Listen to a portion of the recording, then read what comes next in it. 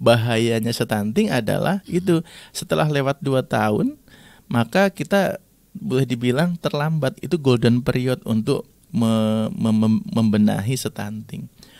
Dan bahkan kalau ketahuannya sudah usia anak setahun setengah udah mau menjelang dua tahun ya sudah. Kita ya artinya kita kehilangan periode emas untuk memperbaiki stuntingnya.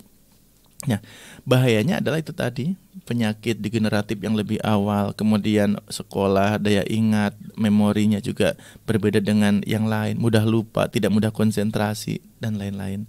Itu kemudian secara fisik juga akhirnya ya ya lebih lemah lebih gitu, lemah, lebih ya. lemah itu.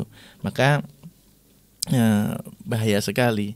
Jadi kalau kita punya kan biasanya gini, ya Allah, semoga anak yang terlahir ini jadi orang yang bermanfaat, menjadi kebanggaan Rasulullah, bisa menjadi orang hebat yang bermanfaat untuk umat misalkan. Nah, maka wujudkan doa itu dengan apa? Ya dengan ya. nah secara dohir kita berikan nutrisi yang terbaik. Ya.